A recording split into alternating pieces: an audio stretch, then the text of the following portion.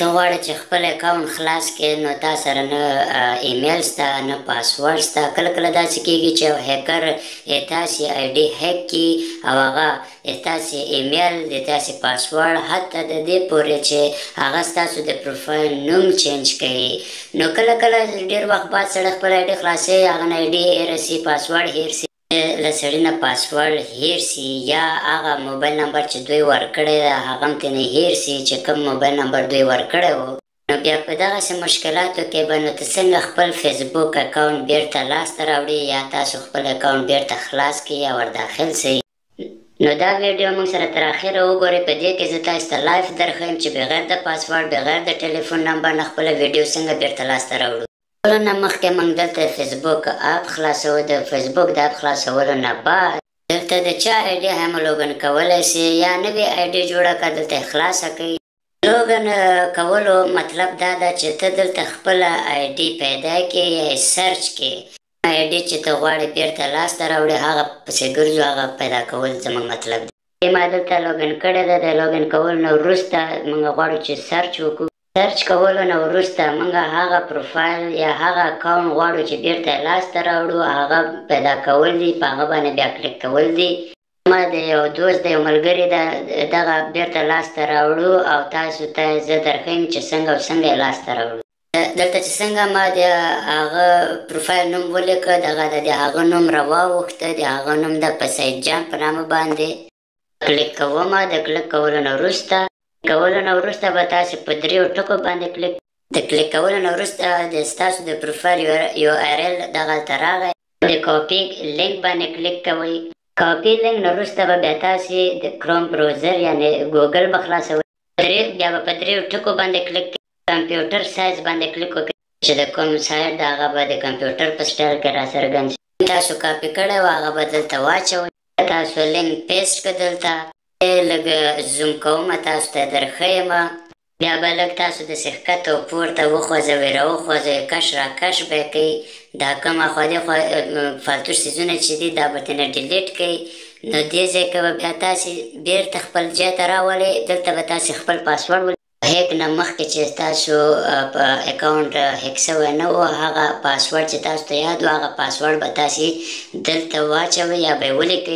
زوړ پاسورډ دلته انټر کوم یا یې لیکم. له پاسه کلیک کوم څنګه چې زه د لوګین له پاسه کلیک کوم اوس. تاسو کتلی شئ چې زما ایډي لوګین ونه شو یا کار ورنه کړ. د دې مطلب دا ده چې هیکر زموږ پاسورډ چینج کړی یا موږ خپل پاسورډ له هیره ویستلی. زه د فارګیتینګ باندې کلیک کوم نو زما هر څه چینج شوي دي. موبایل نو زما د موبایل نمبر یې هم چینج کړی ده. دا اوس بیرته موږ څنګه لاس ته راوړلی شو هغه هم زه تاسو ته درښیم. دوباره به بیا موږ ګوګل ته لاړ شو ګوګل به خلاص کړو. ګوګل د خلاصولو نه وروسته دلته به موږ ولیکو. فیسبوک اکاونټ کمپرومایز. تاسو به دلته ولټوئ لکه څنګه چې اول دا سور خط ده رپورټ فیسبوک کانفرمایز په ده باندې به کلیک وکړئ. د دې کلیک کولو نه وروسته به تاسو دلته وګورئ چې یوه بله پاڼه به تاسو ته په دا رقم باندې خلاصه شي تاسو مای اکاونټ کانفرمایز په دې باندې به بیا دلته تاسو کلیک وکړئ.